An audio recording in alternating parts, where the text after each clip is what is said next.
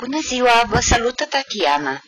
Astăzi voi face un uh, tutorial pentru doamnele care au dorit un model de floare a soarelui pentru aplicații. Eu am realizat acest, uh, acest model, pot să spun că îmi aparține. Există anumite modele pe YouTube, însă ceea ce am realizat eu, un modul în care am realizat, nu se găsește.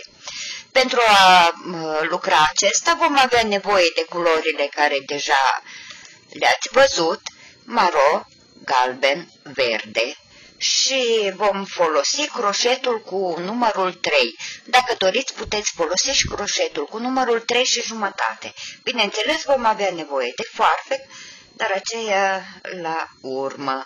Vom începe cu mijlocul, voi face în cercul magic, voi porni cu un ochi de lanț, după care să lăsați firul un pic mai lunguț la cercul magic, voi continua lucrând 1, 2. Deci am un total de 3 ochiuri de lanț. Voi lua firul pe croșet, voi intra prin interiorul cercului magic o dată, de două ori, de trei ori, de patru ori și astfel formez un punct puf. Îl voi închide și trec în continuare. Voi face cel de-al doilea punct puf. 1, 2, 3, 4. Deci de fiecare dată vom lua firul pe croșet de 4 ori, apoi vom închide totul împreună și în felul acesta vom realiza un total de 8 puncte puf.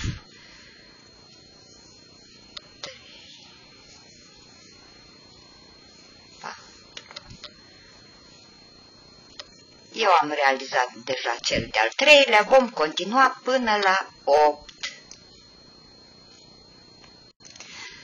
Am realizat cele 8 puncte puf, acum voi strânge cercul magic și voi închide rândul cu fir alunecat în corespondența celui de-al treilea ochi de lanț dintre cele trei pe care le-am făcut la început. Următorul pas va fi ca în corespondența fiecărui picioruș scurt să facem un picioruș scurt, deci atât deasupra punctului puf, cât și între punctele puf. Noi vom face piciorușe scurte, de jur împrejur, pentru că acestea vor fi baza petalelor. Cu atenție, mergem de jur împrejur.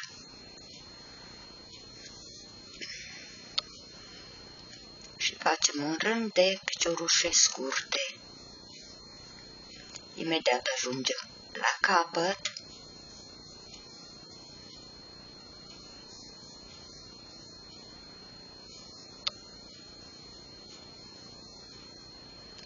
Între timp vreau să vă mulțumesc tuturor celor care sunteți alături de mine pentru vizualizări, pentru comentarii. Am ajuns la capătul rândului, am făcut ultimul picioruș scurt, acum voi scurta firul și vom încheia această parte a lucrării. Deci până acum totul este foarte simplu. Bineînțeles, apoi vom strânge bine cercul magic, vom ascunde și acest capăt de fir în modul în care să dăm stabilitate lucrării și în modul în care firul să nu se observe. Ia uitați-vă, am realizat și aceasta. După ce scurtăm acest capăt de fir, vom intra la culoarea galben.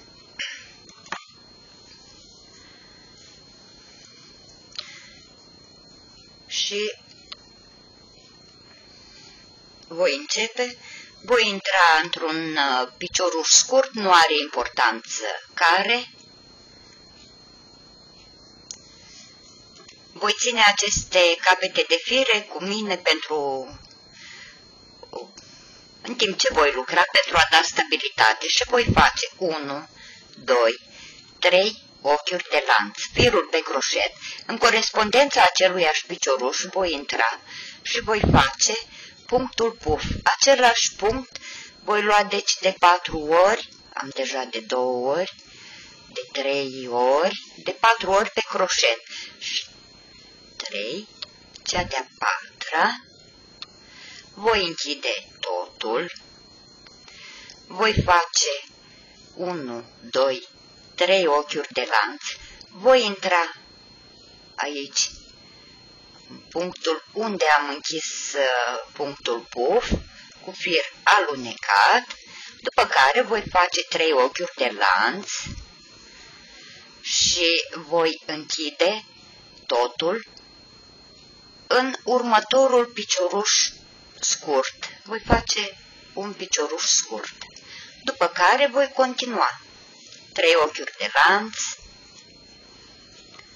1, 2, 3, firul pe croșet și prin interiorul aceluiași picioruș voi forma cel de-al doilea punct puf.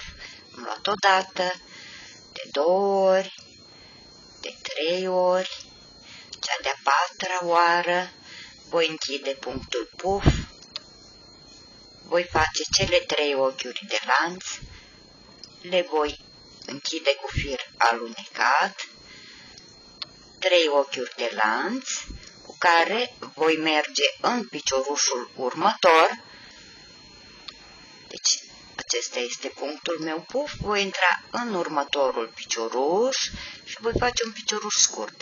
Aici am închis uh, partea lucrării cu maro și nu se vede bine.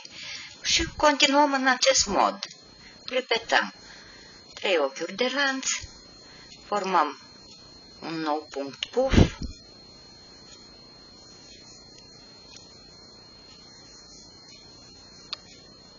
închidem punctul,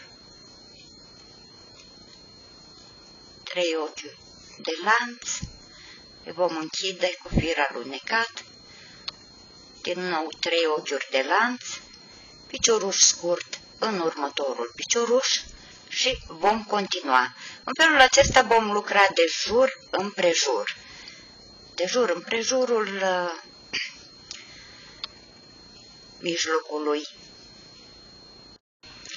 Am realizat ultimul punct puf al meu, cele trei ochiuri de lanț, voi intra în piciorușul scurt și voi închide totul cu un picioruș scurt. Voi tăia firul și voi închide această parte a lucrării. În felul acesta. Capătul de fir apoi îl vom ascunde. Vom trece la frunzulițe. După cum ați văzut, floricica mea are și frunzulițe atașate de ea. Voi lua firul verde și voi începe să lucrez frunzele, care sunt lucrate în același mod, absolut în același mod.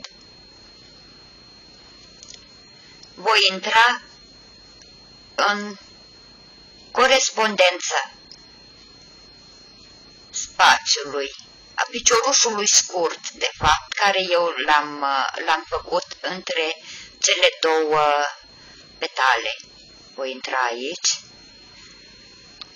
voi extrage firul și voi începe să lucrez frunzulița exact așa cum vă spuneam în același mod. 1, 2, 3 ochiuri de lanț, firul pe croșet, voi intra în același spațiu, în același picioruș scurt.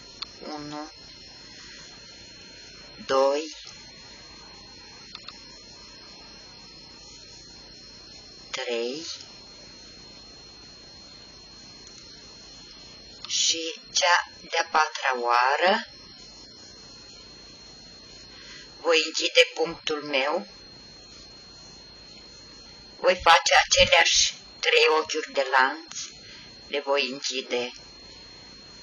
Exact cum am închis petala, din nou trei ochiuri de lanț, pe care le voi închide în corespondența aceluiași picioruș scurt, unde am lucrat uh, punctul puf.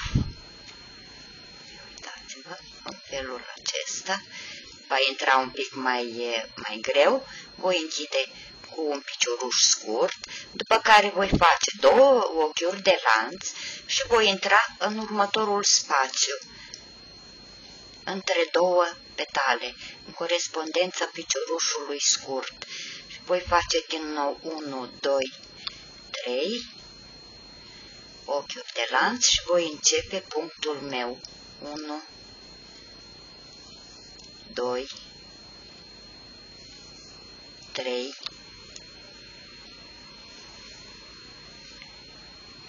4, închidem, închidem punctul, vom face cele trei ochiuri de lanț, 1, 2, 3, le vom închide cu fir alunecat, cele trei ochiuri de lanț pentru a închide această parte.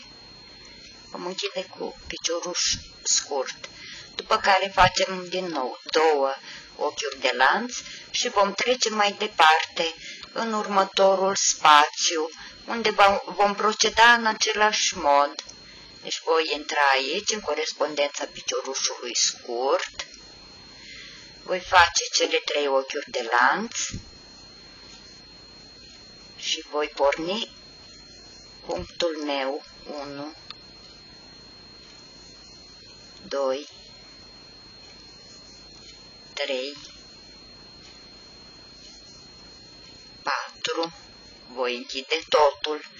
În felul acesta noi vom merge de jur împrejur trei ochiuri de lanț, voi închide cu fir alunecat cele trei ochiuri de lanț din nou, piciorușul scurt și două ochiuri de lanț, astfel vom pleca mai departe. În momentul în care, bineînțeles, vor fi toate frunzele realizate, ia uitați-vă, cam așa se va prezenta. Acum noi vom lucra singure. Sunt în corespondența ultimei frunze, am făcut ochiurile de lanță, acum voi intra în piciorușul scurt dintre două petale, exact cum am lucrat până acum. Voi face cele trei ochiuri de lanț, 2, 3, și voi forma ultimul punct puf. 1, 2, 3, 4, îl voi închide, lucrăm cele trei ochiuri de lanț, închidem cu fir alunecat,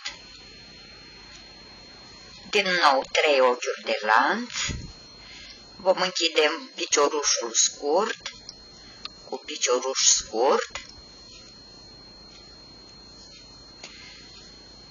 și cu aceasta am închis lucrarea.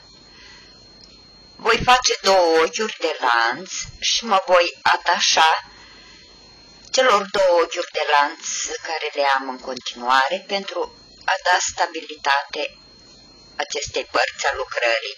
Scurtăm firul capătul de fir îl vom ascunde, deci vom închide, vom ascunde capătul de fir, iar apoi, bineînțeles, vom scurta aceste capete de fire și vom aranja floarea în forma potrivită. Eu cred că este mult mai apropiată de original, de adevărata floarea soarelui, dat fiind că este înconjurată de aceste mici frunzulițe, la fel cum pălăria uh, plantei este înconjurată. După ce am încheiat, vom aranja un pic uh, petalele și iată că am realizat și astăzi ceva. Dacă vă place ceea ce am realizat, vă rog să lăsați un like, un comentariu, să distribuiți, de ce nu. Vă mulțumesc că sunteți alături de mine. Vedeți, aceasta este mai micuță, pentru că a fost de încercare și am lucrat-o mai mică. Uh, așa cum vă spuneam, Vă mulțumesc pentru faptul că sunteți alături de mine, vă îmbrățișez cu drag pe fiecare dintre dumneavoastră, vă iubesc și vă doresc o zi minunată. La revedere, vă salută Tatiana!